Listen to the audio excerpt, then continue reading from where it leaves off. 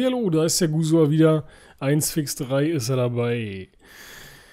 Ja, 3000 noch was Pokis. Ja, ich mache kein Hehl drum, ist jetzt nicht wirklich der Knüller. Aber äh, ich bin ganz soft am, am gucken, was kann man nehmen und so weiter. Also es ist jetzt nicht so, dass ich hier sechs Stunden hintereinander dran sitze und sage, oh, oh, oh, oh, oh, suchten, suchten.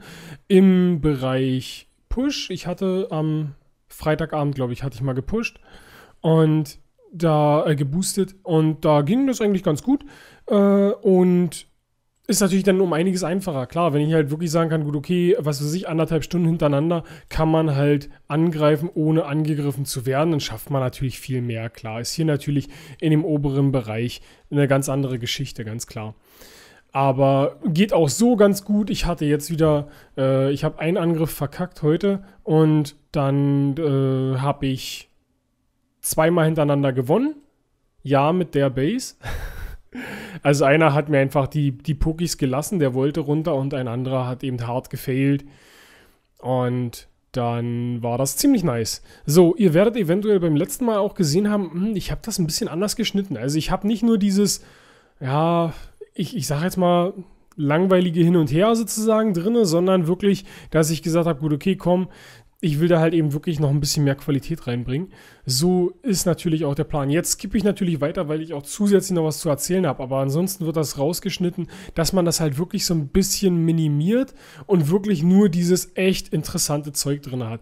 Hier, ja, warum skippe ich weiter? Klar, ich habe halt wirklich die Infernos noch drin, beziehungsweise wenn der Gegner die Infernos dran, drin hat, will ich da gar nichts machen. Ganz ehrlich, sonst hätte ich den auch noch angegriffen, aber ganz ehrlich, mit 8 Pokis lohnt sich das einfach nicht. Der muss wirklich ein bisschen höher sein. Geil. Geil, geil, geil. Jeder andere würde jetzt sagen, äh, ja, pass aber auf. Aber ich meine, der hat es auch dumm gemacht hier. Ich meine, hier hätte man natürlich richtig schön mit Drachen angreifen können. Ich hoffe natürlich, ich hoffe natürlich, dass ich das hinbekomme mit, äh, kurz überlegen, mit, mit zwei Sternen. Aber gucken wir mal, werden wir mal sehen, was hier geht. Erstmal ein bisschen clearen. Und dann schicke ich gleich mal die Queen. Naja, ist klar. Das ist, äh, war jetzt nicht so unvorhersehbar, dass er hier mit Teslas am Start ist. Das ist jetzt eine ganz normale Sache.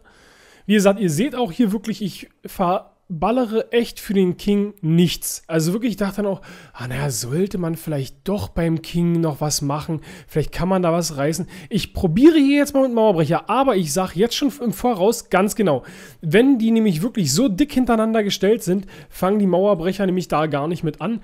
Ah, schade ist natürlich, dass der äh, Loons hat. Ah, da muss ich gucken, dass ich die irgendwie ein bisschen ablenke. Und dann äh, halt wirklich das so droppe, dass ich das auf der Reihe kriege, weil sonst wäre das eher Fail. Hier ganz gechillt. So, jetzt kommen die anderen Truppen.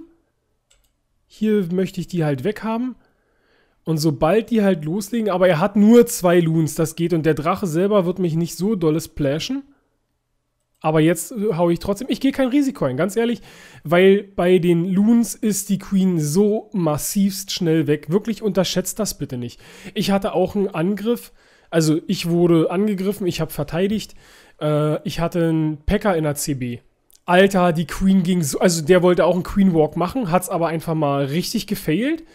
Und mein, meine Packer ist angekommen, nicht mein Packer, sondern meine Packer ist angekommen und hat ihn wirklich so gebumst. Sorry für den Wortlaut, aber es ist einfach so gewesen. Wirklich ein Hit, bam, war das Ding weg, das Mädel und fertig. Ich dachte nur, ich, ich, ich lag lachend daneben, wirklich. Also ich fand das ja so episch. Und mal gucken, was hier mit Farid abgeht in Company of Heroes. Wie gesagt, mag mit der Kombination gar nicht so verkehrt laufen. Aber es kommt halt einmal der Richtige, in dem Fall war ich das, und zieht ihm einfach mal die Hosen aus, dem Farid. Und das ist halt der Fall. Und da sag ich mir lieber, hey, hab ich lieber meine Base, die ich mir selber gebastelt habe.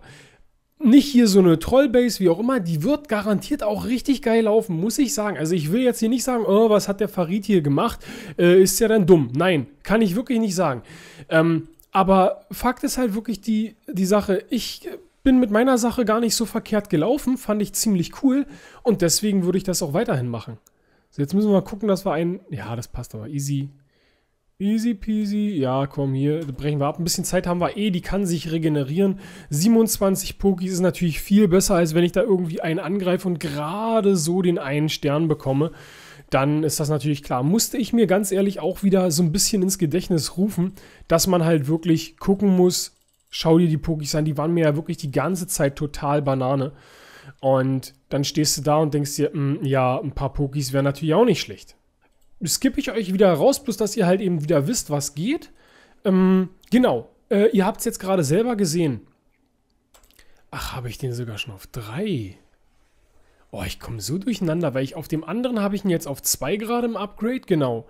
Und hier auf 3. Äh, ihr habt es gerade gesehen. Ich, dann würde ich noch mal kurz reinschauen, weil das schon echt massivst gut läuft mit dem mit dem äh, mit den Zaubern, mit, den, mit dem Gift. Halt wirklich, wenn man wirklich eine, einen Bereich hat, wo man weiß, gut, okay, die Gegner bleiben dann dort. Hundertprozentig. Dann kann man hier einfach sagen, gut, okay, gedroppt. Weil was bringt mir der ganze Spaß, wenn ich halt sage, gut, okay, komm, ich drop das hier oben beim, beim King und dann wird das schon was. Hier weiß ich doch, meine Queen wird nicht down gehen. So, also kann ich ganz gechillt hier, noch passiert hier gar nichts. Wir haben hier einfache Verschwind äh, Geschwindigkeit. So, jetzt tackelt natürlich die Queen auch ein bisschen los. So, jetzt merkt man schon die Loons, zack. Und der hat schon, der hat schon nur noch die Hälfte. Und dann kann die Queen natürlich loslegen, einwandfrei. Also das, das passt.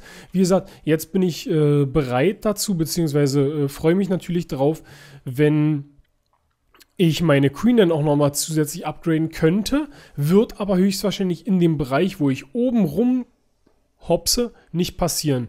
Weil dann verschieße ich ja mein letztes Pulver, was ich habe, ähm, weil ich halt mit der Queen arbeiten möchte. Ganz klare Geschichte. Greift nur noch mit Go Hawk an. So. Ähm, und deswegen ist das erstmal nur nach dem Poki jagen. Also wie gesagt, ich möchte das nicht als, als Poki jagd sehen. Also weil sonst sagst du, oh, weiter, weiter, weiter. Für mich, ja, gucken wir, gucken wir. Ist jetzt nicht so dieses Ultra, oh, jetzt wieder ein Pokal höher oder 10 oder wie auch immer. Golem, nee, kriege ich leider nicht hin. Aber dann wisst ihr Bescheid. Wie gesagt, es gibt jetzt wieder einen Skip, dass es eben nicht so sich übel in die Länge zieht oder sowas. Und dann ist das richtig cool. Ich hoffe, das gefällt euch besser mit diesem, ja, mit der Aufteilung. Bis gleich. So, und da bin ich wieder. Ja, äh, Disiax war mit mir am Start, aber der ist jetzt gerade am Futtern und somit, wenn der reinkommen sollte, dann werdet ihr das merken. Hier, ich habe nochmal 10 Pokis gemacht, das war richtig cool. Das war ja der letzte hier mit den 27, den haben wir ja gesehen und danach habe ich nochmal einen jetzt gerade gefunden mit 10. War mega nice. Gucken wir nochmal kurz rein und dann soll es das auch gewesen sein. Hier natürlich schön Queen gedroppt, alles easy, alles schön. Und dann seht ihr gleich, dass ich ein richtig. Äh, Lol, während meine warte, warte, warte. Disiax, ich bin in der Aufnahme. Kannst ja reingucken. Ähm, so, Leute, was geht? ja, Disiax sieht es jetzt nämlich auch. Also Queen gedroppt und dann dachte ich mir, ah, gut, okay, alles easy, alles schön. Droppst mal ein paar Barbaren. Und hab natürlich damit alle Ach, Teslas ausgelöst. Kacke. Ganz genau. Und sehe seh dann, oh ja, okay, kommt ein fetter Golem noch. Und ich dachte aber auch, ah, naja, so viel kann er dir ja auch nicht tun. Aber äh, der hat doch schon ganz schön reingesplasht und ich wollte es halt einfach nicht, nicht ausnutzen bzw. nicht riskieren. Guckt mal, wie er jetzt Alter, doch noch reinballert. Low, ja, ja, und dann dachte ich auch, gut, okay, komm. Und dann dachte ich mir jetzt, jetzt hier noch übelst die Boogies gedroppt und die haben dann richtig, ja, die haben dann richtig gesplasht. Ganz klare Sache. Und dann dachte ich halt eben auch, gut, okay, du hast jetzt noch zwei Minuten. Ratos ist gleich down. Hier hat er auch noch äh, Bomben gehabt.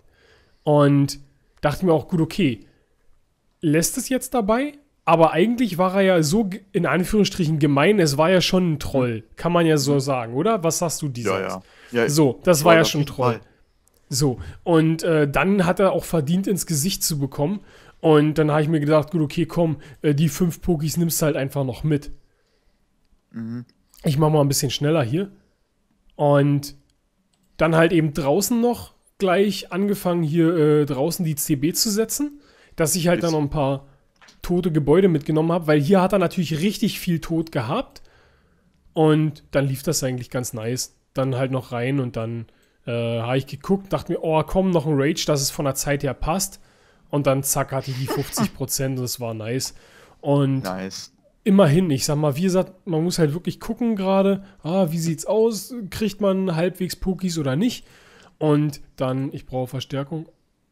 Also das mit diesem, mit dieser Heiler-Taktik mit der Queen funktioniert aber dann doch schon echt gut, oder was? Ja, klar, also du kommst grundsätzlich halt, aber nur in Town Hall 9. Klar, Town Hall 10 mit Inferno, da hast du keine Chance. Ja gut, gegen Inferno, aber da heilen die Heiler ja auch nicht. Das heißt, Genau, darum geht's ja. Genau, darum geht's da ja. machst du da nix.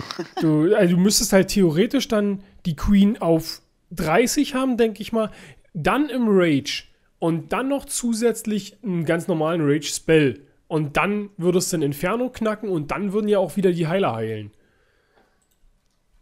Aber da musst du dann halt richtig äh, gut losgehen, sag ich mal. Okay. So, das müsste jetzt mein. Ich guck mal gerade. Ja, mein neues Poki High. Damit soll es dann auch wieder gewesen sein. Ich hoffe, die Folge hat euch gefallen. Wie gesagt, das ist jetzt einfach wirklich mal ein bisschen kompakter, ein bisschen besser zusammengeschnitten, dass ihr da nicht immer dieses Skippen habt und so weiter und so fort. Ich hoffe, das gefällt euch. Wenn euch die Folge gefallen hat, lasst einen Daumen nach oben da. Das wäre eine coole Nummer. Und äh, ja, wenn ihr wollt, könnt ihr beim Disiax natürlich auch vorbeischauen. Und dann ist das schick. Ich wünsche euch was. Haut rein. Ciao, ciao. Bis